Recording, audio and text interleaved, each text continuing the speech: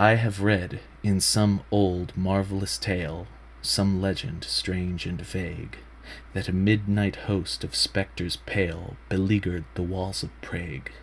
Beside the Moldau's rushing stream, with the wan moon overhead, there stood, as in an awful dream, the army of the dead.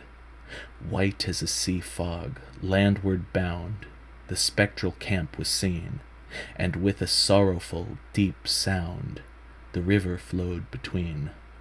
No other voice nor sound was there, no drum nor sentry's pace. The mist like banners clasped the air, as clouds with clouds embrace. But when the old cathedral bell proclaimed the morning prayer, the white pavilions rose and fell on the alarmed air. Down the broad valley, fast and far, the troubled army fled. Up rose the glorious morning star, the ghastly host was dead. I have read, in the marvelous heart of man, that strange and mystic scroll, that an army of phantoms, vast and wan, beleaguer the human soul, encamped beside life's rushing stream, in fancy's misty light, gigantic shapes and shadows gleam, portentous through the night.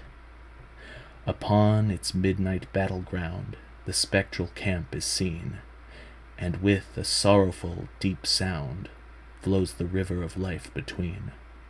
No other voice nor sound is there in the army of the grave. No other challenge breaks the air but the rushing of life's wave.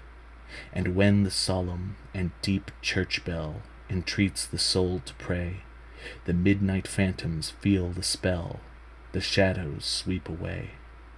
Down the broad vale of tears afar, the spectral camp is fled.